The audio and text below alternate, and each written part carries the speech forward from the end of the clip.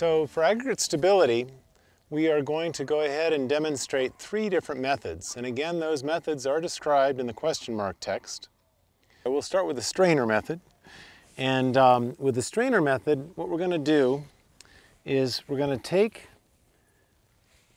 some soil that we've broken down into BB sized or a little bit larger PEDs that we're going to pour into a strainer. And then we're going to set those in a bowl of water and uh, let them sit there for about a minute. And basically, um, if you need to, you might need to mix them in a little bit, get them down into the water. And after they've sat there for about a minute, we're going to take that and we're going to flip it over onto a board or a flat stone. Back of a clipboard works. And we're going to observe what we see there. If we had seen that all those PEDs were still looking like they did when we put them in the water, that's pretty darn good soil structure. If all we'd seen is a mass of mud, not so good. What we've got here is something in between. Some of those PEDs held together pretty well, but there's still quite a bit that dispersed. So it's an intermediate level of aggregate stability. The next protocol is similar, and that's the cylinder method. But in this case, what we're going to do is take a PED about the size of a golf ball. We're going to put it in that same sieve, and we're going to set it in water. And we're going to leave it there for five minutes. So we'll leave that there for, for a little while. And while we're waiting for that, I'm just going to briefly show you the third method, which is the soil quality test kit. And with this one, it's a little bit more uh, accurate, a little more precise. Um, takes a little bit longer, um, but you get a, a better sense for your field.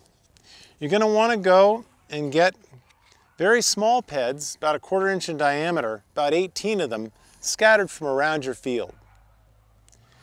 Put each one in here, and then you're going to lower it slowly into water that you've got in the other box. It's good to use deionized water, distilled water if you can.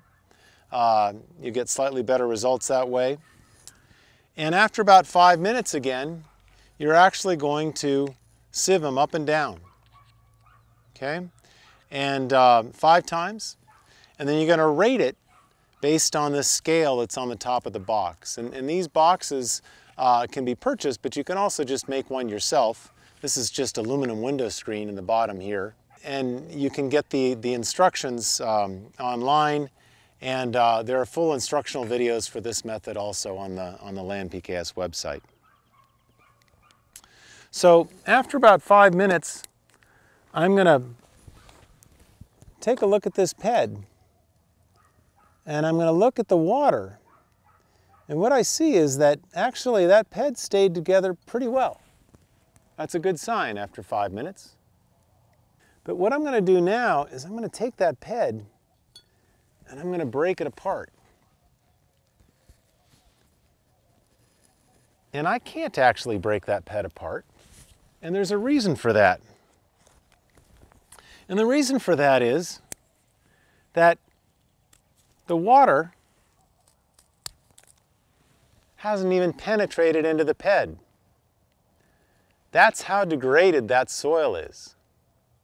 So there was enough clay in organic matter in there that it basically is holding the soil and preventing it from completely dispersing. And we saw that in the, in the previous test. But the reality is that soil is so compacted and that there really aren't any aggregates. It's just one massive brick of soil. So again, when you're doing the cylinder method, you not only want to look at what the water looks like and what it looked like in there, but you want to make sure you break it apart. Just be careful if you have to use a knife like I did. So again, three methods. They'll all work. If you're going to do repeated monitoring over time, you're probably going to want to use something more like a test kit or uh, a lab measurement of aggregate stability. Um, but uh, if you're just trying to figure out if your soil actually has some aggregation, any one of these methods will, will give you a sense of that.